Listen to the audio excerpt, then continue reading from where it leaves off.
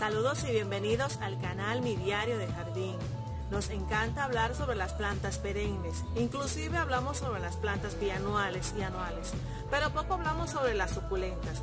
En esta ocasión yo quiero hablarte sobre este cactus, se conoce como Brasiliopuntia, es un cactus precioso y no sabía que daba flores, así que en esta ficha informativa te voy a mostrar el cuidado de este cactus y también te voy a mostrar las flores que él da. Espero que te guste el video.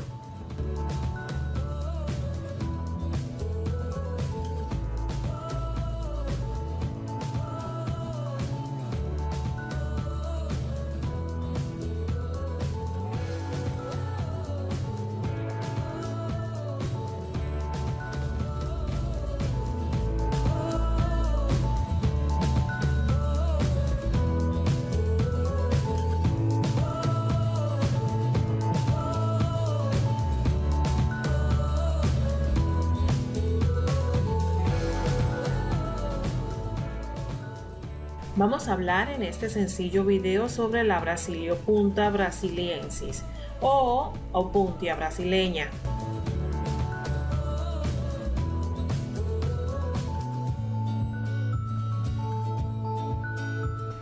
Este es el nombre al que pertenece este hermoso cactus. Es del género Brasiliopuntia, de la familia de las cactáceas. La forma única de su especie es en forma de arbusto. Por esto pertenece a este género procediente del Brasil, Argentina, Bolivia y Paraguay. Es el único de esta especie.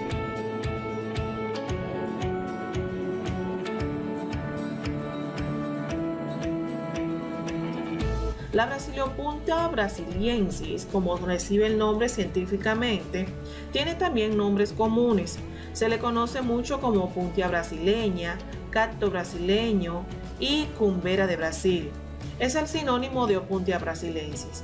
Es un cactus bastante ramificado. Es lo que más me gusta de él. He visto que parece un arbusto, lo que favorece, a mi entender, que al colocarlo en el jardín directamente, principalmente en el área de los cactus y suculentas en el terrario, puede provocarle sombra a las suculentas más sensibles. Esto sería una idea espectacular.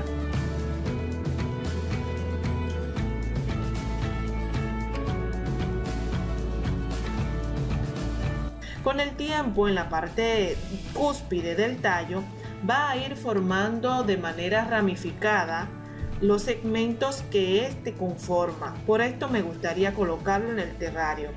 Este cactus puede alcanzar hasta 4 metros de altura. Cuando me lo regalaron era un pequeño pedacito que parecía un nopal pequeño pero con el tiempo le fueron saliendo segmentos planos de color verde brillante y en relación con los demás segmentos hubo uno que engrosó y siguió subiendo hasta la cúspide y se convirtió entonces en el tallo de mi cactus. Le he podado tres veces porque quiero que el tallo siga recto y que se vuelva un pequeño árbol.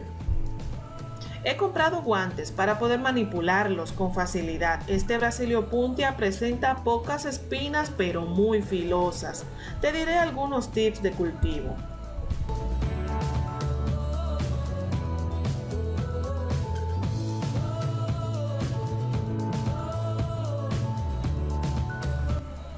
Colocaremos este cactus en una iluminación parcial al tener la facilidad de utilizarse en macetas y en jardineras, hasta en rocallas, se cultiva en pleno sol, pero en lugares donde es más cálido el ambiente, recomiendo que coloquemos la opuntia brasileña en forma de semisombra. Aquí se le ha colocado en lugar semisombreado debido a que el sol directo es muy caluroso en algunas horas del día.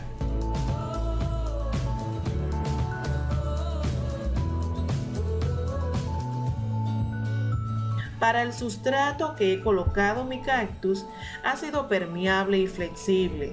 Estos cactus necesitan algo más de materia orgánica que la mayoría de los cactus.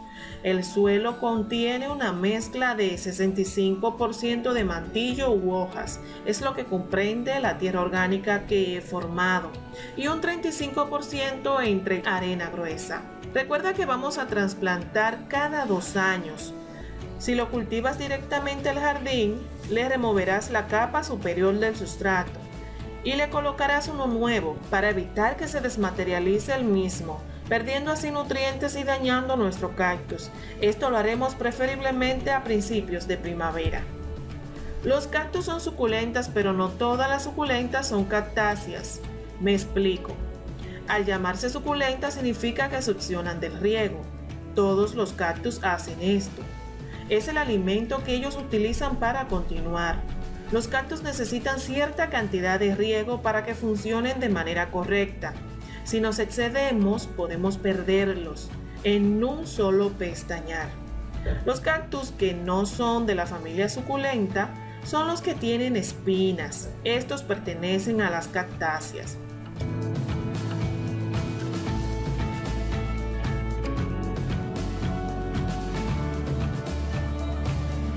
En cuanto al riego, agradecen riegos frecuentes en verano, esperando que la tierra seque a cada riego. Y si drena la maceta es muchísimo mejor. En verano la cuidamos porque allí es donde ella utiliza bastante las reservas. Si el ambiente es cálido, entonces necesitará mayores riegos. Pero en invierno el ambiente es más fresco. Aquí los riegos serán escasos ya que tomará del ambiente lo que necesita para seguir desarrollándose. Lo que vamos a hacer es que la vamos a abonar. A finales de otoño o invierno, la vamos a abonar con un poco de materia orgánica. Vamos a remover el sustrato de la superficie donde hemos colocado nuestro cactus.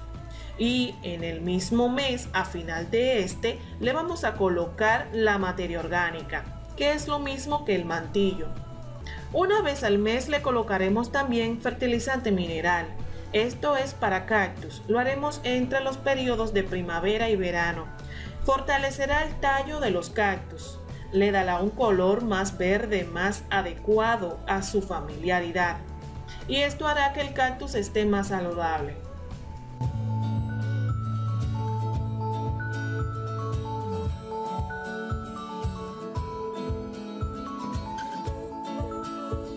Lo que he visto con este tipo de cactus o puntia brasiliensis es que son bien ramificados, se ven bellísimos.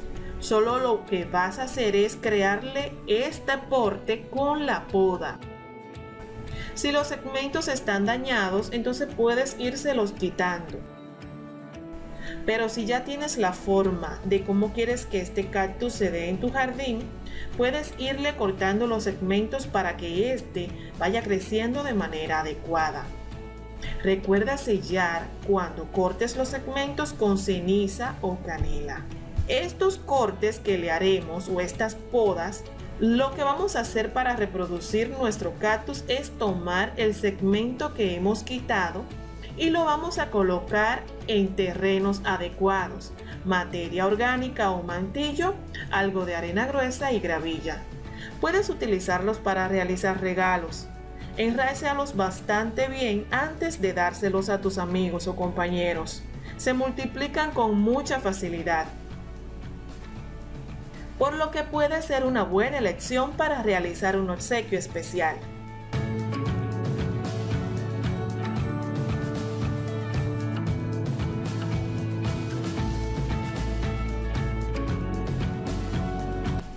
Este cactus tiene unas flores preciosas. He visto incluso fotografías donde el cactus se llena de las mismas. Son muy vistosas. Suelen aparecer durante el verano. Espero con ansias el próximo verano porque sé que mi cactus florecerá. Gracias por ver este video informativo. Espero que te haya gustado. Sé que muchas veces tenemos que ver las bellezas de las plantas con un ojo bastante filoso, pero los cactus son preciosos, principalmente cuando nos florecen. Gracias por compartir este video, gracias por suscribirte y ser parte de esta familia de mi diario de jardín. Que Dios te bendiga y te guarde.